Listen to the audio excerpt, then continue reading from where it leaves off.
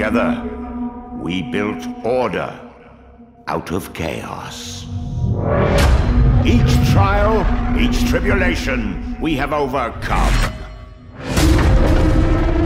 Now we live in an age of unprecedented peace. We have prevailed.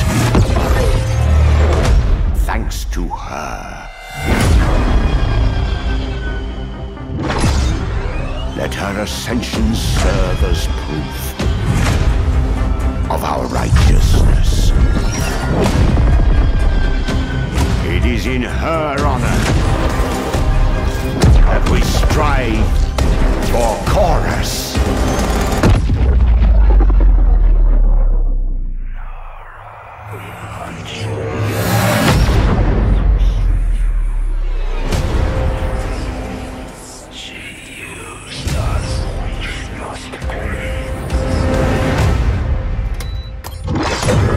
This ends with us.